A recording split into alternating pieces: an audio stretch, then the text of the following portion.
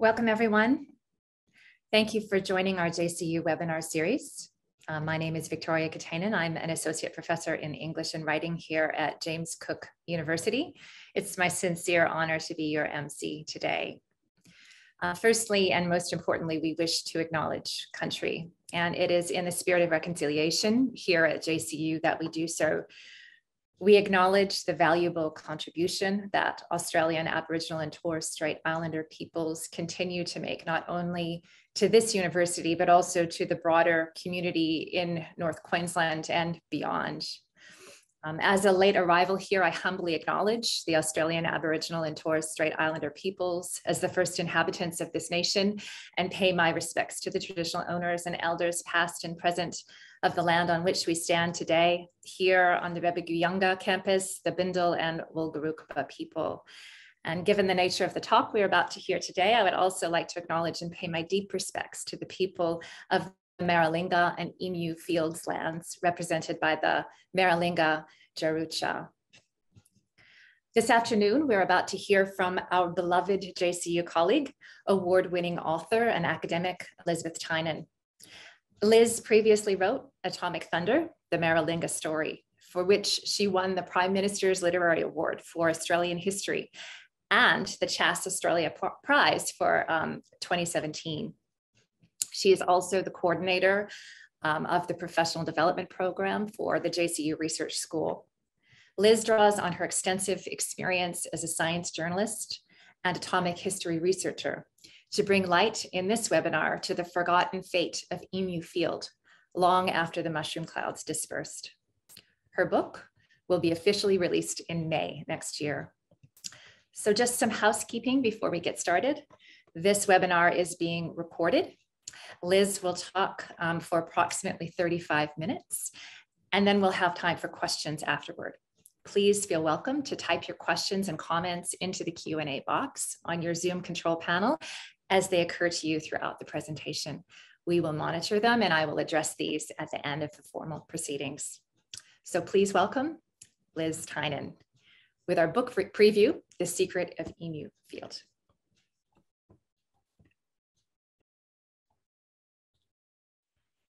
Thank you so much, Victoria, and what a great privilege and pleasure it is for me to be here to talk to you about the most extraordinary story I am very um, excited to be able to bring you the story of Emu Field. Many of you have heard, no doubt, of uh, the much more prominent British atomic test site at um, Maralinga in South Australia.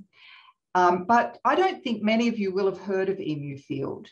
And Emu Field has tended to be something of a, of a footnote to the history of British atomic tests in Australia.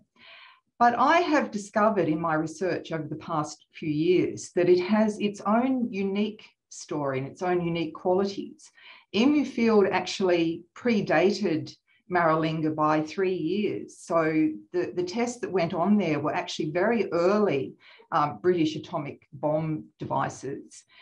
And I would say, and through my research, I think it's true to say that, um, that the EMU field tests, which were set up and conducted extremely quickly and without any consultation. Of course, there was no consultation with um, the Aboriginal people in the area or anyone else. I would say that there is an argument for um, the tests, the atomic tests at Emu Field being in some ways more damaging uh, more destructive to Aboriginal life and culture, and indeed to, to the lives and futures of the military personnel who are involved as well, than even the tests at, at Maralinga. You will see on your screen a very um, stunning image of Totem 1. This was the first of the tests held at Emu Field on the 15th of October 1953. And as I will tell you about in this very brief sort of introduction to, to this history, Totem 1 did uh, a huge amount of damage. Uh, in, an in an instant, lives were changed because of the cloud that you can see there in front of you. You will also notice that, um, that this photo was taken by a representative of the media and media were present at Emu Field. Um, interestingly though, the media and other people who were not directly associated but were allowed to visit the test were brought to Emu Field in an aircraft that had its windows covered so that no one could see exactly where they were going. And they were whisked away very soon after that, uh, that cloud disappeared. So it was a very, very secret um, operation, Operation Totem at Emu Field. But I would like to begin both physically and metaphorically with dawn at Maralinga on the day of my trip to Emu Field. Um, in a sense, I was moving from a place that I understood and knew quite a bit about, Maralinga, to a place that was fairly sketchy in my mind, was not something that uh, I had actually known very much about. I had focused my efforts in the past on, um, particularly on Maralinga. And so on that day that I travelled from Maralinga um, to Emu Field, I was travelling into the unknown. It's only, it's less than 200 kilometres um, from Maralinga to Emu, but the trip took five and a half hours each way. So you can imagine that that was a very, very long day. One of the, the days that live in my memory um, one of the days where I learnt more in 12 hours than I, I have learnt at any other time. It was the most extraordinary day. And can I get you to notice this photo, which was taken by my brother Andrew, who was with me on that trip? And I'll just say quickly that most of the photos that you see in this presentation were taken by Andrew, except those that are otherwise indicated. This photo, which was taken as we were traveling north from Maralinga village towards Emu Field, that it struck me as looking just like an atomic bomb on the horizon. And it was a poignant reminder that despite the peace and beauty of the surroundings that we were traveling through, that this place had a very violent history. So it really stands out. That moment, that photo was taken, I, am living it again, just looking at it the lands are back in Aboriginal hands. So um, the Maralinga lands, which include um, Emu Field, are now back in Aboriginal hands. And um, they're managed by Maralinga Tjarutja Council. Um, and the wonderful Oak Valley Rangers fulfill the requirements of the various land management plans in place. The um, Aboriginal owners of this land take their responsibilities extremely seriously and the Oak Valley Rangers are um, performing great acts of, of healing upon that place. Um, it's a wonderful band of people. I was fortunate to travel in that car with Ranger Coordinator Shane, who um, I don't think I ever stopped asking him questions on the whole trip, uh, and he never seemed to tire of answering them while still negotiating the sand drifts that were on that road and the difficult terrain that he was traversing. Um, he was the most extraordinary person, and I owe him a great debt of gratitude. I just want to give you a bit of an idea in case you don't know um, where we're talking about. That white arrow points to the Woomera prohibited area. The Woomera prohibited area is a very, very large part of South Australia and it was declared uh, in the late 1940s um, because the British were testing their rocket technology out of Woomera. And Emu Field and Maralinga are within that territory. Um, they're on the sort of western reaches of that territory. So that gives you a bit of an idea and shows where we were in relation to um, Adelaide, which incidentally, Adelaide is my, my hometown. I was born there. And um, a lot of this story has it's personal to me. Um, certainly, members of my family were. I wasn't born then, but members of my family were around at the time that these tests were, were taking place. The road to Emu is the most extraordinary drive. I've already mentioned I was lucky to share that drive with Shane. We had a convoy actually of three vehicles altogether going to Emu. Um, and we stopped midway at Len Beadell's tree. Some of you will know the name Len Beadell, um, the legendary surveyor of, of Central Australia. Um, this tree is exactly midway between Maralinga and Emu Field. Um, and you can see there that the landscape is dominated by beautiful mulga trees and red sand and that vivid dome of a blue sky. It was almost too much. It was saturating the, the senses.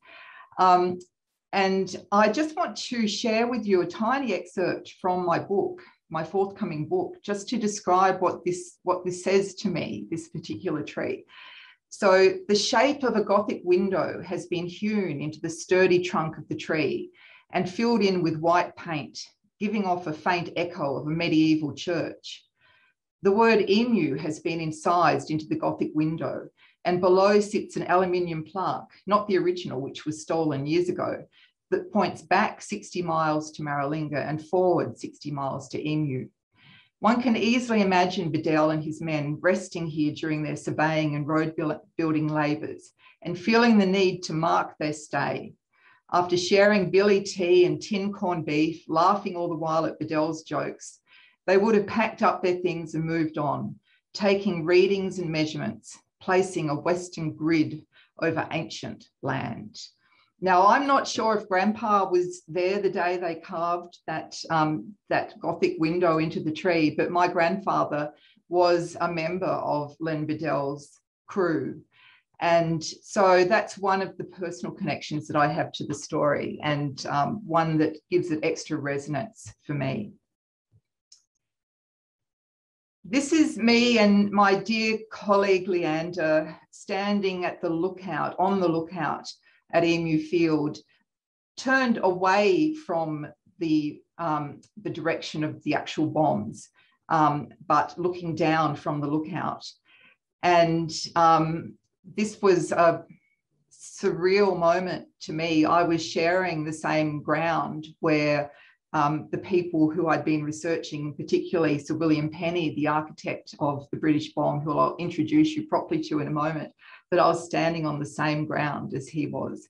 And I was able to share it with, with dear colleagues and also with my brother, um, who came along and took such wonderful photos. My book tells the story of Operation Totem at Emu Field in October 1953.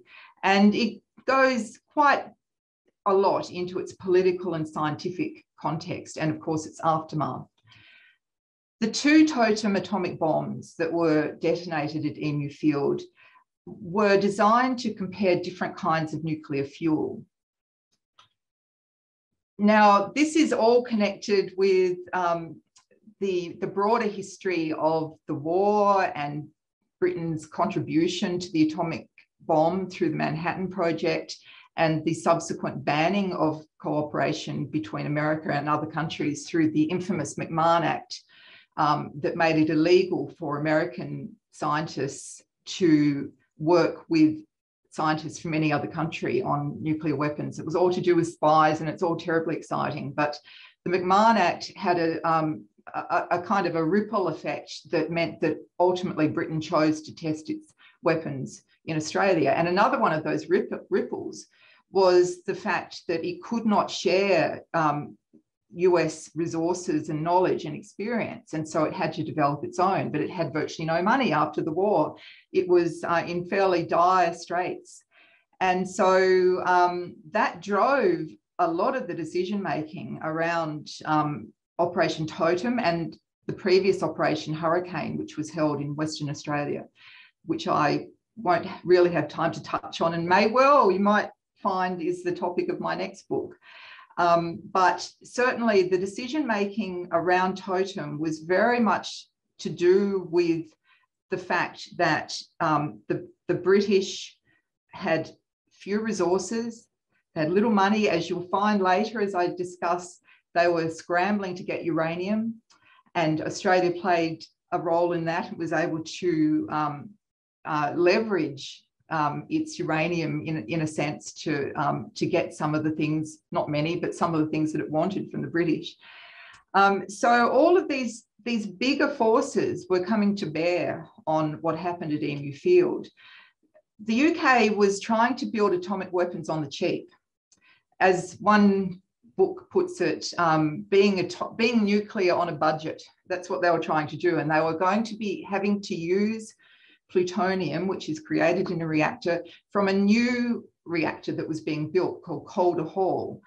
And the kind of that reactor was intended to produce plutonium for both military and civilian use, the first in the world that was actually able to do that.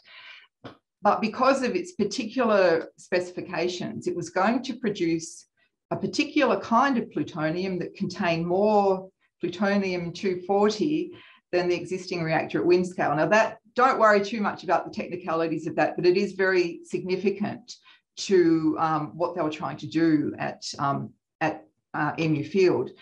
That, that particular kind of plutonium could potentially make the weapons more unpredictable, and they needed to test exactly what would happen when they exploded a weapon that contained a higher than desired level of plutonium 240. The fuel of choice for atomic weapons as opposed to thermonuclear weapons, hydrogen bombs, but these um, earlier atomic bombs, the, uh, the fuel of choice was plutonium 239. And that works well for, well, in inverted commas, for this kind of, uh, of purpose.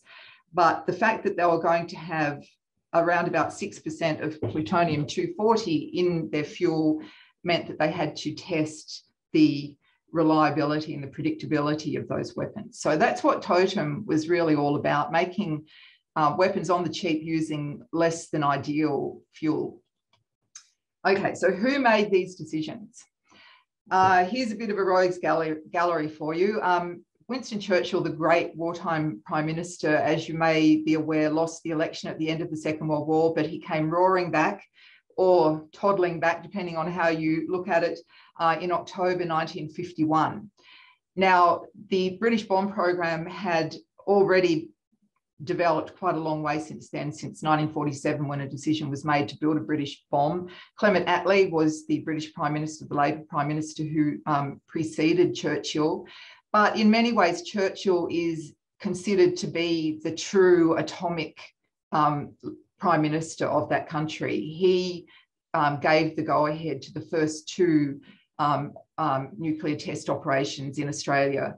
And he was um, a, a, a, great enthusiast for it. And that's partly because of the next guy, Frederick Lindemann, um, known quite often as Churchill's bulldog or the atomic bulldog. Uh, Lindemann was a, a Tory politician who held the position of paymaster general after Churchill came back in 51. And despite the name, which wouldn't necessarily suggest uh, responsibilities for matters atomic, in fact, he was heavily involved in uh, um, making decisions. He was a physicist himself. Um, a, a, very um, knowledgeable scientist, but quite an insider. He was also um, very, very keen for Britain to have its own weapon and not depend upon the Americans.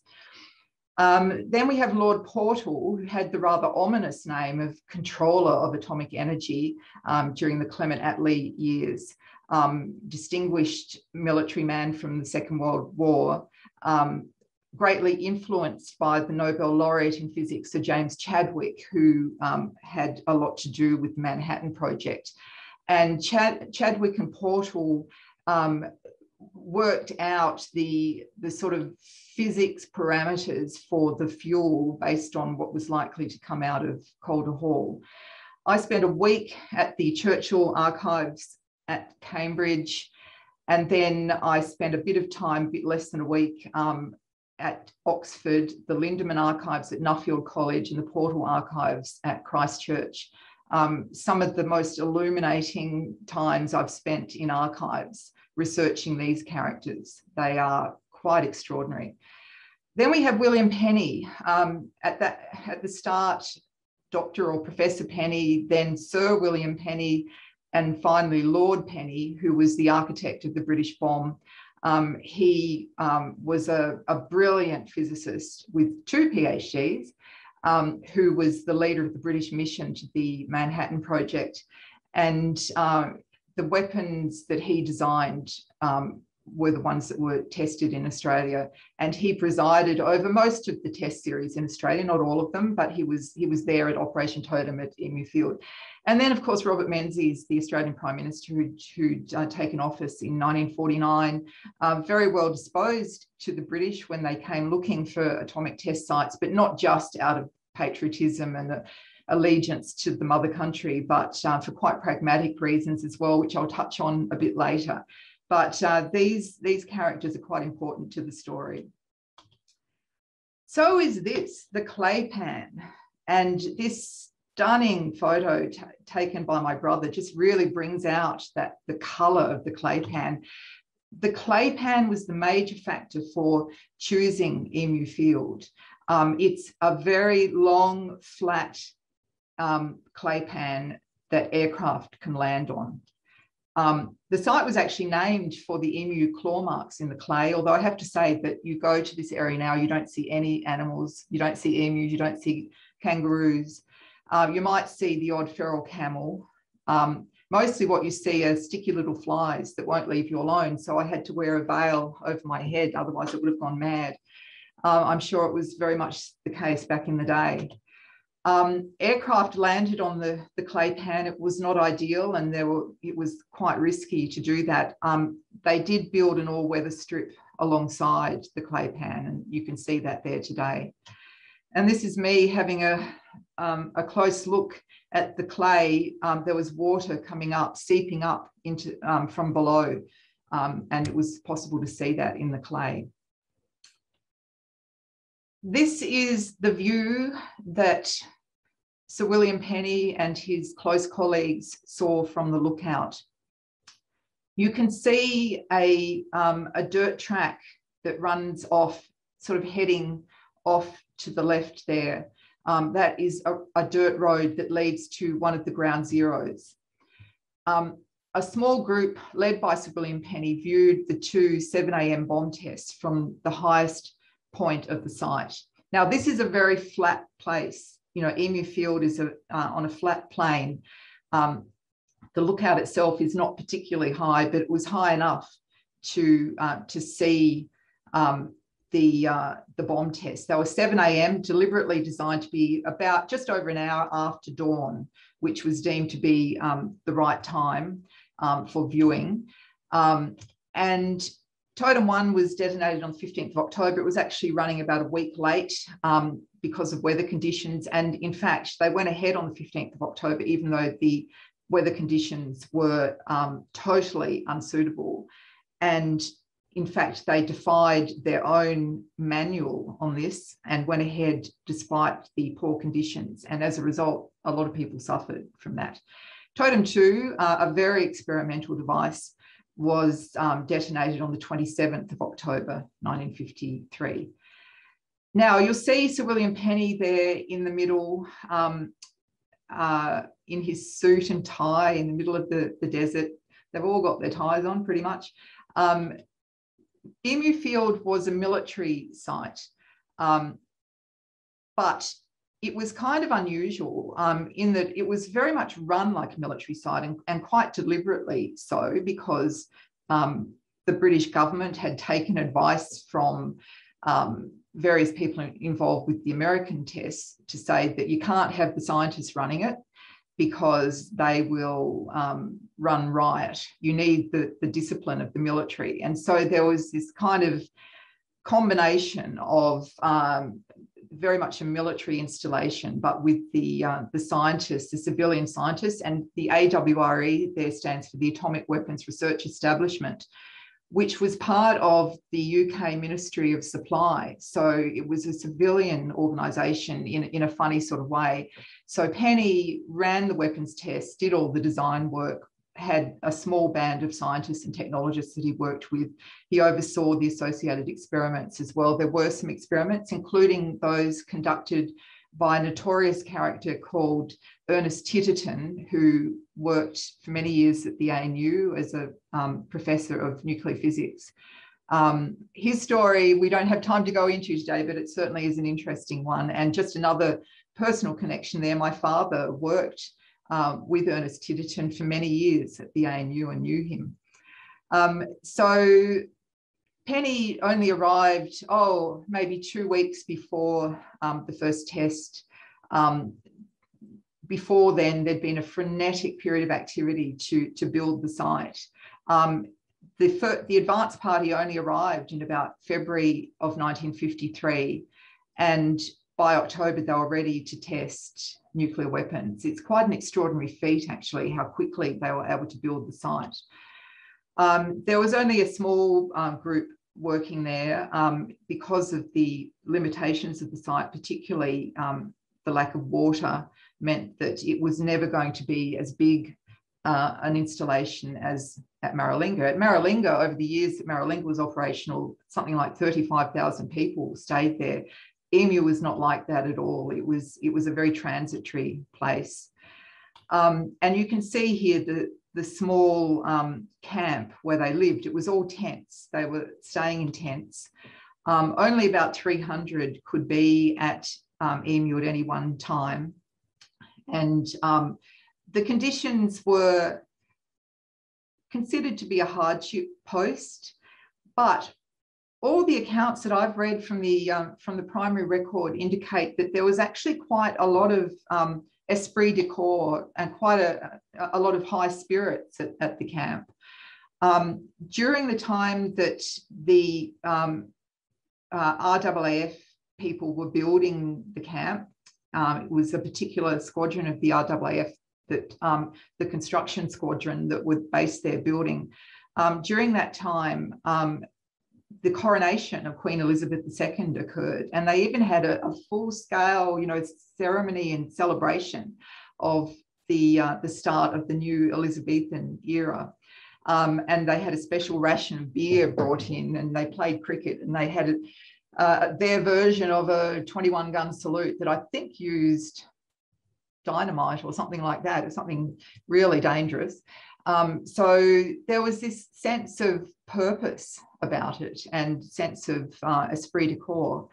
Um, this tented city was very close to the clay pan, but some kilometres away from the actual test site. So there was uh, a separation between the two. Mind you, it's almost certain that some of the fallout from the second test in particular came close to the village. Um, by December of 53, just about everyone had left, other than a few security police who stayed on. Um, it was a, a, a, desert mirage. It disappeared very, very quickly. but you can see here some of the, uh, the heavy equipment. Um, most equipment had to be flown in and landed on that clay pan. Um, there was no road from Woomera or from Adelaide uh, to bring things in. They did actually end up bringing some things by um, makeshift sort of road, including a Centurion tank. Uh, and that tank ultimately became notorious as the atomic tank. It was cleaned of its radiation and sent to Vietnam, where people used it in Vietnam. Uh, so a lot of this construction gear, some of it was brought across country and some of it was brought in by transport aircraft and landed on the clay pan. Okay, totem one, secret guard. Um, a lot of the, um, the records, including photography, have been declassified. Um, I have to say, though, that in December 2018, so three years ago, the British government withdrew just about all the files. I'm at from public view from the archives in, in London. I'm very fortunate that I had been able to get to the archives, not just the National Archives at Kew, but to the other archives that I've mentioned um, before then. Um, because right at this moment, historians cannot access most of the, um, the, the British files. They're under review. They've been under review for three years, and there is no idea of when that period of under review will end. But I keep checking. I checked a few days ago, they are still not um, available again. And I have to wonder why. I'm not the only one wondering why. There are other historians who are working in this area who wonder why as well. But this is uh, a previously secret image. Um, they had camera, um, camera towers set up all around the site, and they also had uh, air crew taking um, shots as well. This is from a tower of um, a, very short time after the detonation of Totem 1. And I, I love this quote. It stood over the desert like a grotesque tree, and for a while until the wind seized it and distorted it and bent it to a random shape. there was an unwilling, monstrous quality of grace about it. And that's the um, very eloquent British journalist, James Cameron, who, who was one of those people flown in in the camouflage plane, um, was able to witness that um, detonation and then was whisked away immediately afterwards. Um, I, I, get what he says about that unwilling, monstrous quality of grace. And perhaps you might have seen that in that very first image I showed you of the Totem One cloud. The Totem One uh, experiment was notorious for creating what has become known as the black mist. And some of you may have heard of this person, Yami Lester. I'll quote him from his evidence given to the Royal Commission into British nuclear tests.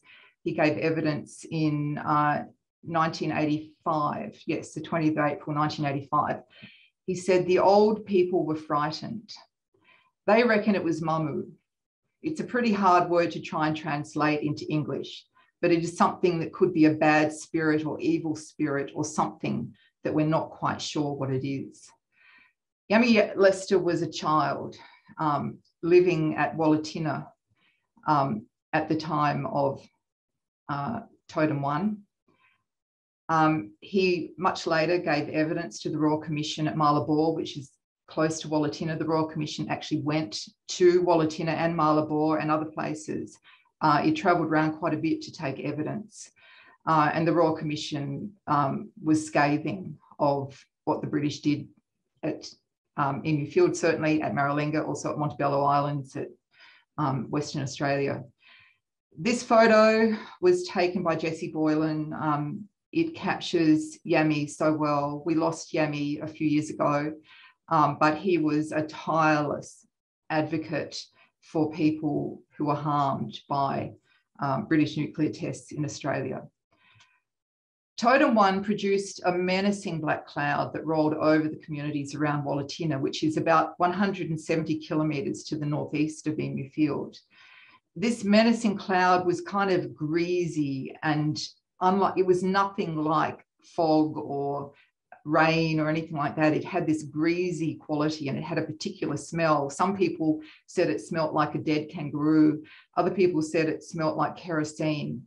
Um, it kind of settled onto the vegetation and, be, and, became sort of sticky stuff on, on the trees. It was very, very strange. And I talk in my new book about what we think it might have been. When I say we, there have been people who've examined this from different angles, whether scientific angle, um, ju- there have been sort of judicial inquiries or attempts to understand what went on. Um, we don't really know. And in fact, the chapter that deals with this in my book is called The Unknowable Black Mist, because so much of it um, is mysterious. But I do, in the chapter, um, draw upon some of the studies and speculate a little about what it was.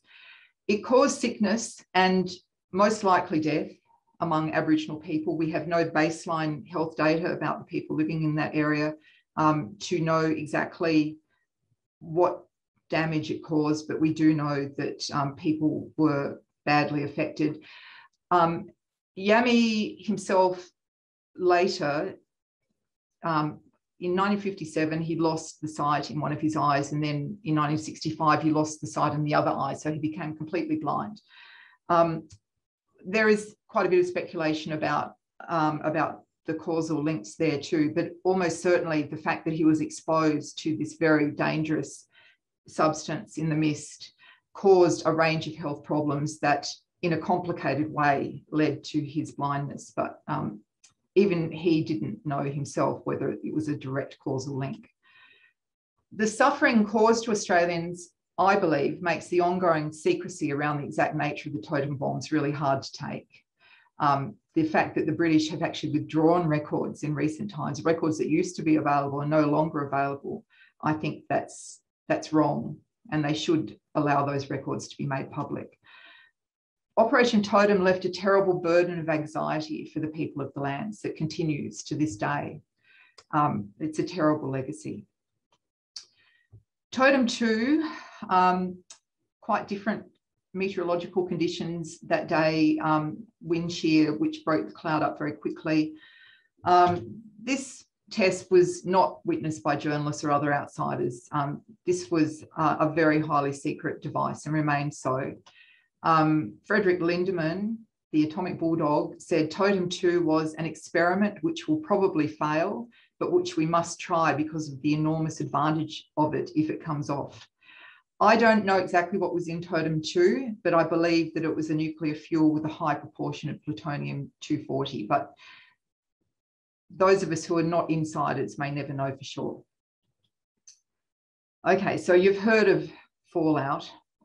Um, here are a few things to flesh out that idea the first quote is from Leslie Martin, who was a, a, physicist and a defence science advisor who was very involved. He was an official observer at Operation Totem. He worked closely with Ernest Titterton on um, preparing a report on the safety aspects of Totem before it went ahead, a, a report that turns out to be quite inadequate.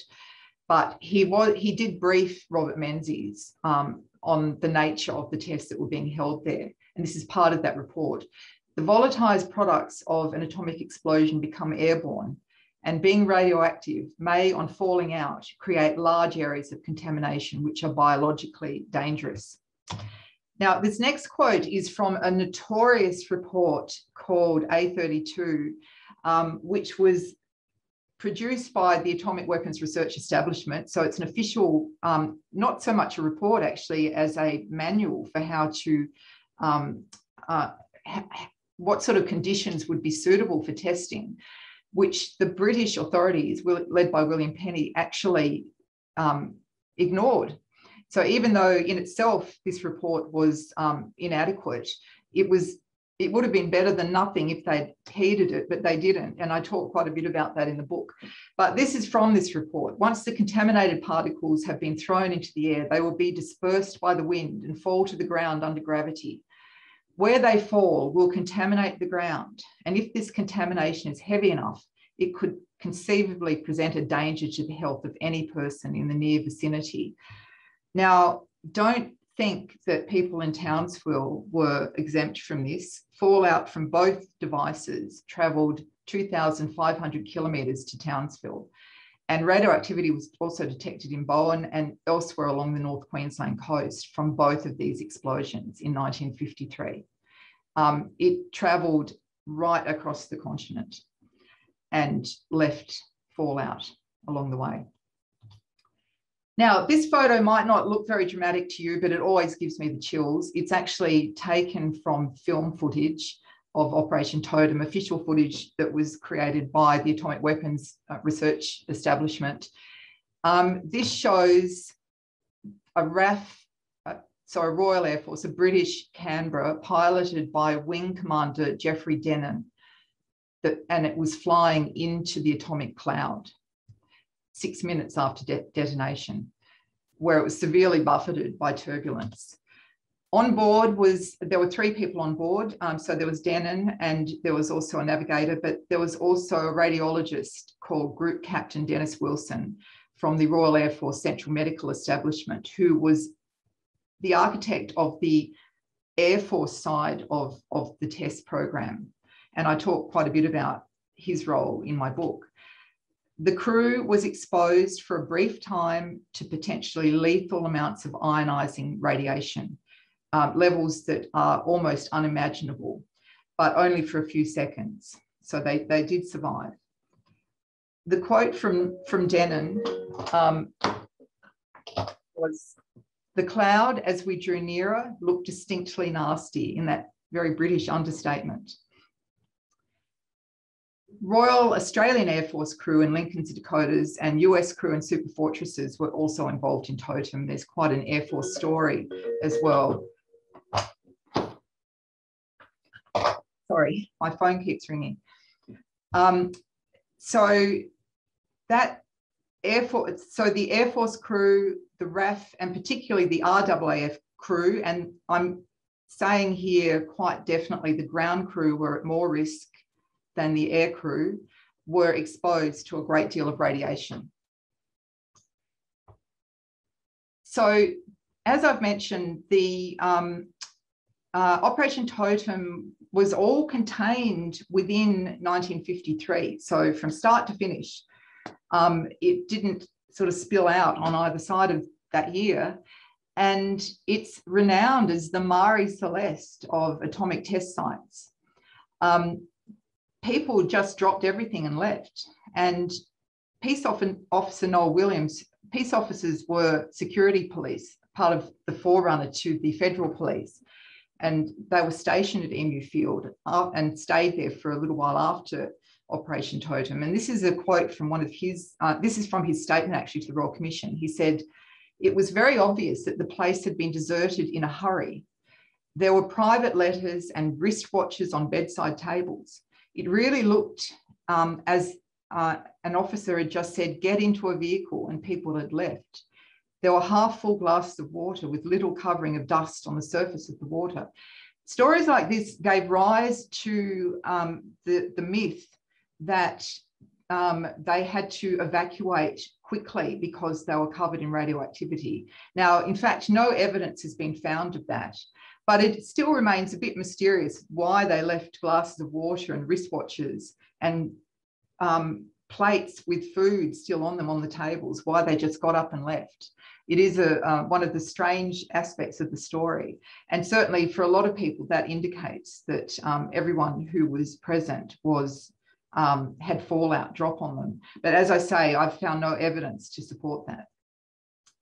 Now, um, I alluded to this, and I sorry about the the text on the screen here, but it's it's worth reading this um, because part of this story, and there's a chapter on it in my book, um, revolves around the uranium angle, which is really interesting um, because this was Australia's atomic bargaining chip because we had uranium and the British and the Americans too, by the way, and others wanted it. Uh, and suddenly Australia found, for a very brief moment, it found itself in the spotlight. So here's just a quote from the Rockhampton Morning Bulletin. It is strange that a discovery which has um, done more to give Australia additional world status than anything else can be named offhand has become the subject of a rowdy domestic political squabble. Australia finds itself courted by governments, visited by distinguished scientists, caught up in a stream of great world events by reason of the discovery of uranium over a wide tract of territory that does not exhaust the possibility of further finds. Almost overnight, we've emerged as a prospective major supplier of the precious and coveted ore, source of military power in the present and of industrial power in the not distant future. So that's a whole other story. And I noticed that we are running out of time, so I won't dwell on that, but it's, I think, a fascinating um, insight into the reasoning behind the tests in Australia. Now, there's ongoing aftermath. Um, this is Karina Lester um, speaking at the United Nations, who said, Many are still suffering today. The emotional, mental, and physical suffering is felt by generations. We're constantly reminded of what has been taken away from us as a family and the suffering we've gone through. Karina, who is herself an activist, is Yami Lester's daughter, and she's associated with the international campaign to abolish nuclear weapons, which won the Nobel Peace Prize in uh, 2017. I just want to finish now by reading an excerpt from my book, which I hope just sort of draws some of this story together. It's a big story, and I've only touched very lightly on its aspects, but hopefully this will help to bring it together. Emu Field is a tiny slice of a vast swathe of beautiful and wild central Australian territory a place that is intimidating in some ways owing to its hidden water and its unforgiving climate. Its traditional custodians travelled across this land for millennia, inveterate travellers that they were, always on the move. At the time of the tests, no one lived there permanently, and no one can live there now. The fact that this pristine land was so casually handed over to a foreign power to test weapons of war speaks volumes about the reality of colonialism and its peculiar bonds. Many Aboriginal people lived within range of the Operation Totem toxins that were released without adequate warning or safety advice. It's still possible to find remnants of this remote and abandoned atomic test station, although they're not always obvious. The forgetting of EMU began as soon as the last serviceman and peace officer packed up their rough camps and headed home, away from the flies and the heat and the dust. The least visible but most dangerous residues are the wisps of long ago unleashed radioactivity and the immense human suffering and anxiety associated with them. This is Emu Field's secret, sorry, and enduring legacy. And on that note, I would like to thank you very much for your attention and I'd be very happy to take your questions. Thank you.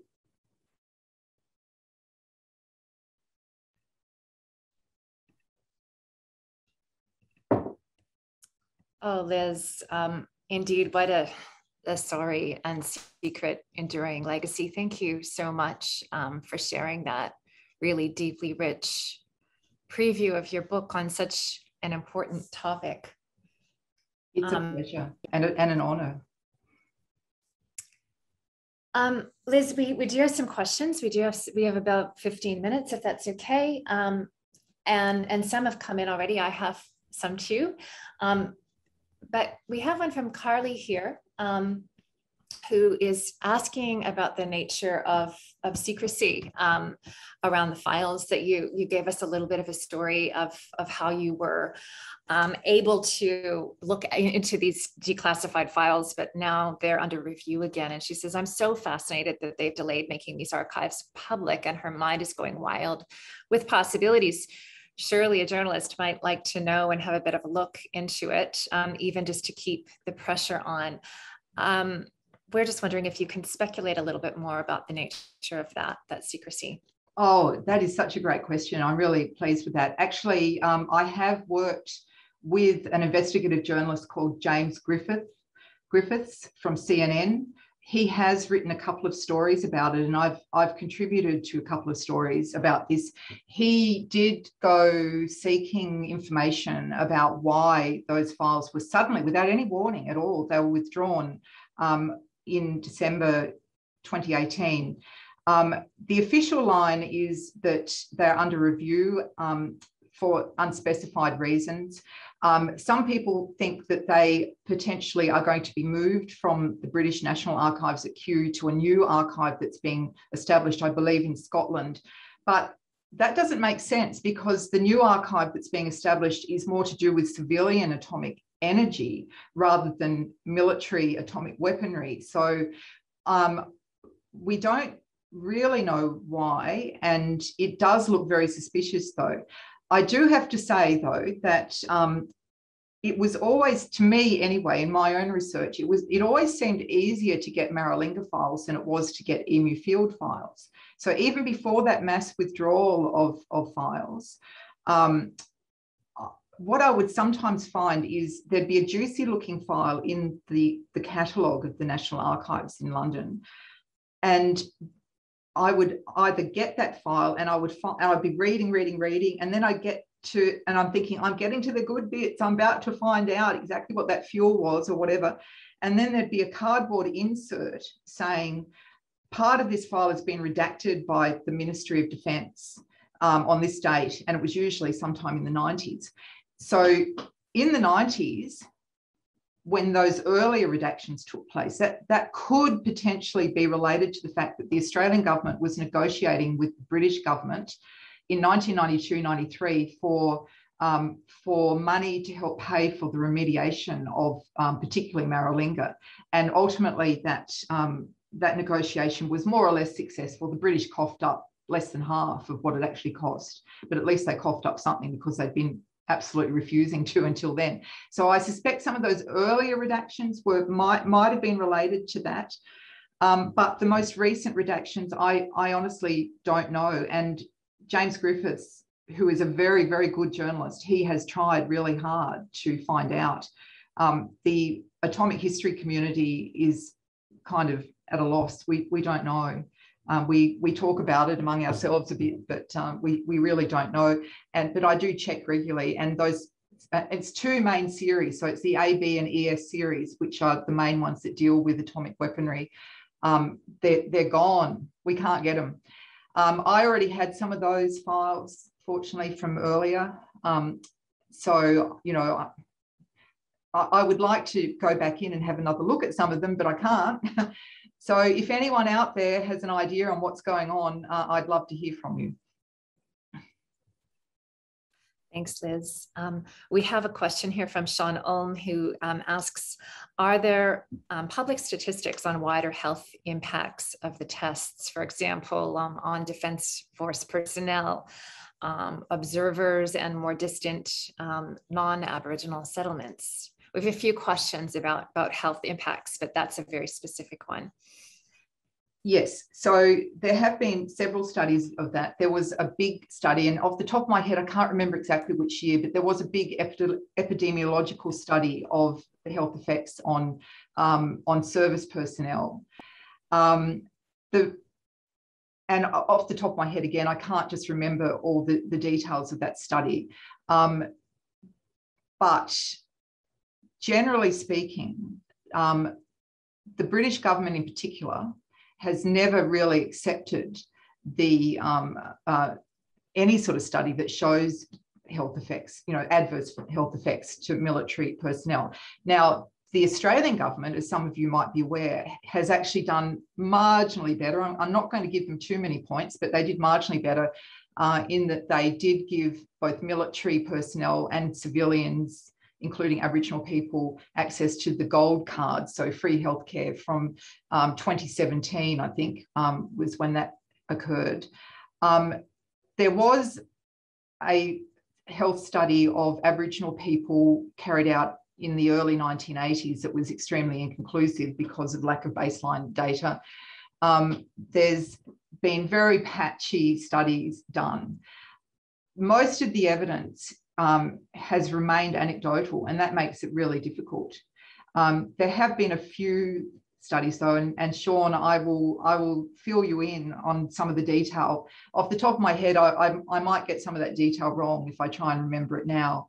Um, and health health effects are, are not really things that I've gone into very much myself, that being a fairly specialised area but I can certainly point you in the right direction. So if you're interested in more on that, there have been some interesting things done. Just none, none of it has ever been terribly conclusive. That's the real problem. And that causes ongoing distress for those who are concerned, not just veterans and Aboriginal people, but their descendants as well.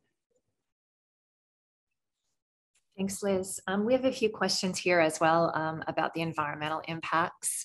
Um, Jill O'Sullivan asks if the, the soil is still radioactive. Another person um, asks about the groundwater um, uh, from that very vivid image that you showed um, of yourself standing on the clay pan where there was water seeping up is that radioactive or what what were the water impacts of that um, and another person is asking uh, about the lack of, of emus or wildlife um, and the implication that you perhaps were making that that's um, a consequence of these testings. Um, just wondering if you, you have anything to share with us about the environmental impact. Well, emu was never properly cleaned up and um, it's not, you're not allowed to stay there for very long because there is radioactivity. Um, at the ground zeros, you'll find what is known as trinitite, which is when an atomic bomb is detonated, the heat is greater than the surface of the sun and it instantly turns the sand to glass. It's a, it's a strange kind of glass. And the glass, the trinitite at EMU, and in fact, you can see here on the screen um, one of the plinths at um, ground zero for totem one, scattered all around there is this sort of black, weird glass, and that is radioactive. Um, they they never really did much in terms of cleaning up this site. To get into this site now, you actually have to get special permission from um, the Defence Department as well as from Maralinga Tjarutja jointly. You have to get permission from both, which reflects the fact that it isn't safe. The um, the Oak Valley Rangers do go there, but they never stay for very long. Um, so you're not in immediate at immediate risk the cleanup report known as MARTAC did find that if you were to get a piece of trinitite and clip it with um, pliers to turn it to dust and inhaled that dust, you would probably experience a problem, but very few people are likely to do that. So just being there for a short time is, is probably okay. I can't speak about the water resources there, but I would speculate that they are probably affected as well. As for the animals, no one seems to know that the animals were plentiful um, before the tests. And indeed, that's how the place got its name from the emu claw marks. But these days, the animals stay away. Maybe they're canny about that. I, I don't know. And I, I don't claim any expertise in that area either. Um, but it was something that was quite noticeable when we were there that um, there were no animals. And I was expecting there would at least be kangaroos, but there weren't. So I can't give a good answer, I'm afraid, but it, it is kind of strange. Thanks, Liz. Um, we have a question about the, the legal implications of the testing. Um, has there been any attempt to um, have any kind of legal um, reparations um, or restoration here? Yeah, so the Royal Commission took place in the mid 1980s and returned an open verdict on the Black Mist, which was requested by the representatives of the Aboriginal people um, who were parties to the Royal Commission. And the reason for that um, was to, because the Royal Commission itself could not um, properly um, investigate or um, establish the facts around the Black Mist. So what then happened was the barristers representing the um, Aboriginal people then prepared uh, a brief of evidence um, and sought compensation from the Commonwealth. and it took a few years, but ultimately they were successful. So um, it didn't end up going to court, it was settled out of court. So um, that was one thing. Um, also, the um, Aboriginal people got um, some compensation money. The, the community at Oak Valley got some compensation money more generally. In the mid 1990s, I think, um, totally inadequate amount, of course, you know, uh, considering what had happened to them, but there was some compensation paid to them from the Commonwealth as well, separate to that civil action that I, I mentioned from barristers from the Royal Commission. Um, in Australia, service personnel from Maralinga and EMU um, have attempted legal action. Only one was successful. That was a fellow who had been at Maralinga. He was the only one who succeeded at court. However, um, a, number of people, over 100, um, did receive what is known as administrative compensation for injuries that were accepted as being part of their service. Um, British service personnel have a much worse time. Their government has never accepted uh, any liability. And as far as I know, um, no one has received any compensation among the British service personnel. And there are a lot more British than there were Australian. And I'm in regular contact with the British Nuclear Test Veterans Association that they're trying so hard to at least get recognition, even a medal, and it's something. um, but the British government continues to deny them even the courtesy of a medal. Um, so that is very distressing for everyone involved. And of course, at this stage, most of the veterans are in their 80s and 90s. So, you know, it's getting late in the day. Okay, well, two two last questions, and I'll just um, hand them over to you at the same time, Liz. Um, one is, you've written about Maralinga already extensively. Why does Emu Field deserve its own spotlight, its own book? What's distinct about Emu Field? And then our last question is for you. What is next for you, Liz?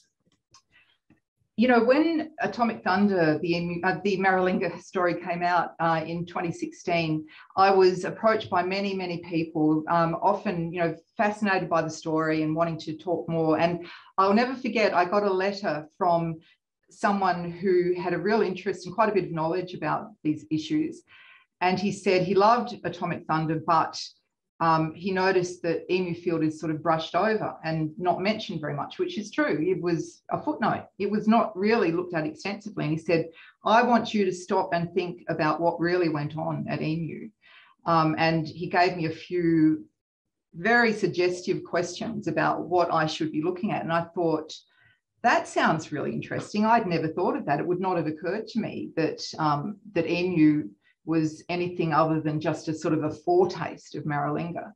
But as the more I got into it, the more I realized just how extremely interesting and how uh, how different in some ways. Even the atmosphere is different to to Maralinga. So I got. I, am afraid Emufield captured me and wouldn't let me go.